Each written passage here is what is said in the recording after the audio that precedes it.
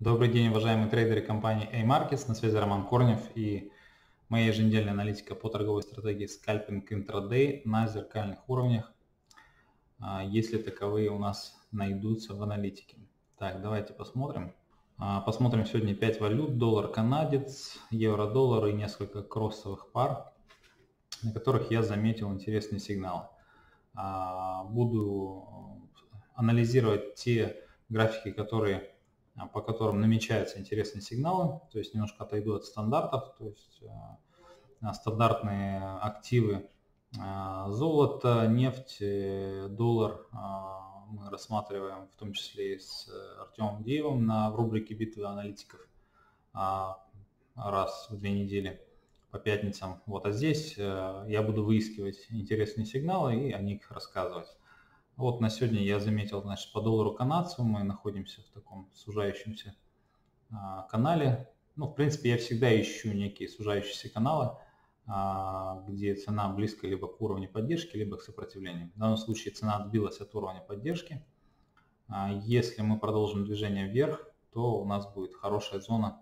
Значит, э, вот в этой зоне у нас будет сопротивление, и здесь можем ставить ордера на продажу. Очень хороший сигнал здесь будет. Если же цена продолжит двигаться вниз, то мы будем иметь э, зону зеркального сопротивления. Вот здесь вот. Тогда, наверное, уже надо будет перестроить вот так вот линию. Вот. И после пробития этой линии у нас будет зона сопротивления еще одна, но уже зеркальная, тоже с сигналами на продажу. Дальше давайте посмотрим австралийский доллар франк тоже находится в сужающемся канале. Немного, скажем так, а, разворотный такой настрой. Эта валютная пара показывает. Но, тем не менее, а, видно, что подчиняется тенденциям технического анализа и тоже в районе сопротивления этой линии можем рассчитывать на короткие продажи. А, дальше канадец японская иена.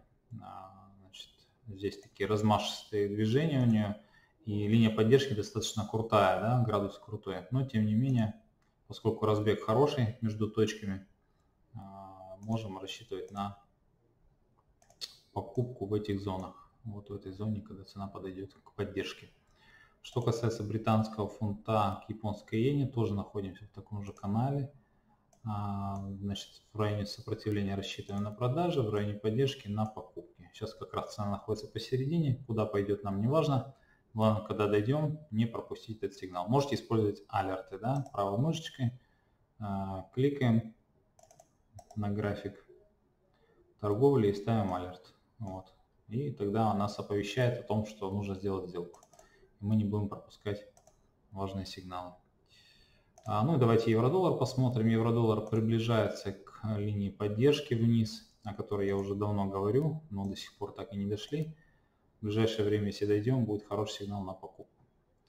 Вот такие вот а, сигналы на эту неделю. Всем желаю успешной торговой недели. Торгуйте с удовольствием. Всем пока.